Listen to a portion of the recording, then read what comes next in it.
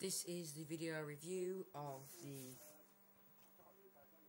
um can't pronounce it G36C airsoft gun.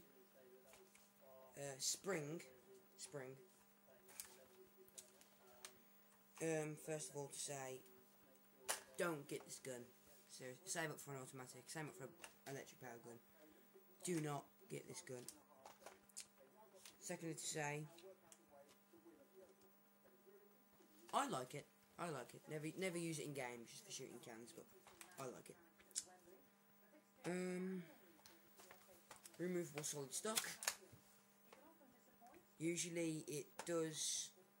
Um, is a flip stock, but this isn't. It doesn't come with a grip. I just put off a grip on off my M4 carbine because I don't prefer grips on my guns I use. Just I like my accuracy on this. This this is good for grip. It's also good when you want to do that without without the stock. If this is automatic, I'd love this. Just go like that, like a proper submachine gun.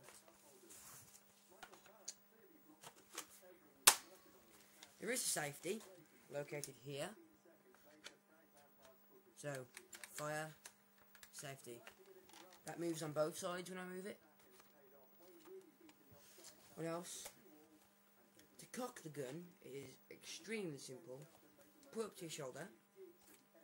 See this? You pull it down. Hold it like a sniper rifle. Pull back. Fall forward. Let go. Hold your grip or the mag or there, whatever you like. And pull trigger. You have a rail on the underneath for whatever you want. I would have a grenade launcher there if this was automatic. Rail on top for scopes. Whatever you really want on there, I am not fussed.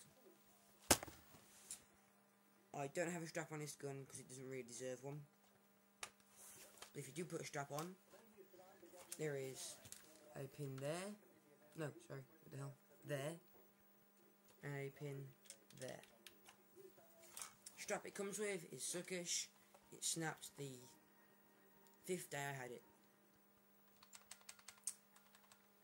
Um, what else? To release the magazine, there is no release catch button, but you that tab there, you tap in, put the mag. Once again, this came green, like my M4 carbine, and my um, Desert Eagle. Well, that came blue, but I sprayed this gun, in other words. Mostly because I have lots of land that I can play on, without the police coming up to me and bawling at me. Um, this is extremely powerful, very, very powerful. Uh, it's not even. It's not meant to be. This is more of a sniper than a gun. It's accurate. It is just accurate and very powerful. That's all I have to say about this gun. It's comfortable, very comfortable. If I would prefer that, but I do put a skirt that on it. The can hold 15, 15 uh, BBs. Now, because I am a pleb, a complete stupid, utter stupid monghole, um, I managed when I spraying it, I didn't take the gun apart. So, it was harder to get that this off. And this whole front part, like from there to there, is supposed to come off. But it doesn't come off because I sprayed it and the spray paint I used was actually spray primer. So that's like varnish and spray paint. It gives you a nice shine. Uh, you can't really see on this because this is um, a black varnish. It really gives it a smooth. And what it does is it dries like glue and that this can't be done. But if it was to come off, you'd press a button there and a button there, both in at the same time, like um, this, and then pull it off, and you would end up with something that looks like goes to about here, sorry, to about there, and it'd be like a submachine gun.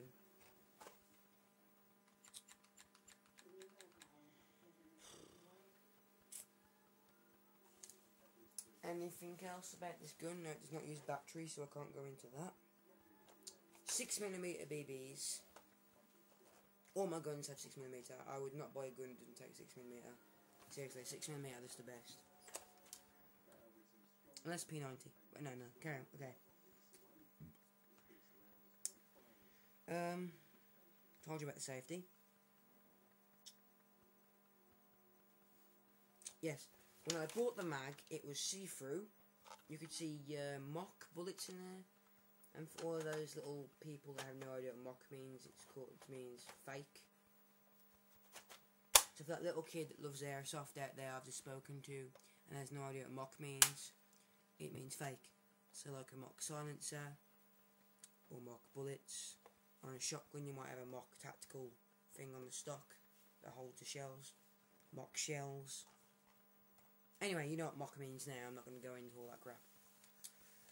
My next video that we're not be on today, but should be doing tomorrow, will be simple positions of firing airsoft guns. That will probably be just like a whole video of saying where to hold your gun, how to hold your gun, how to prone, how to crouch, how to stand up, how to properly aim. Probably you probably know how to do that, just in case. And it's also going to be um, what was that thing? It's also going to be how where to hold your gun, the best place. Well, wherever you feel comfortable, to be honest. But I'll, I will show you. I'll go through all my guns, how to hold a pistol, how to hold a G, G3, P90 when I get it, M4 carbine. Until then, farewell, people of YouTube. Goodbye.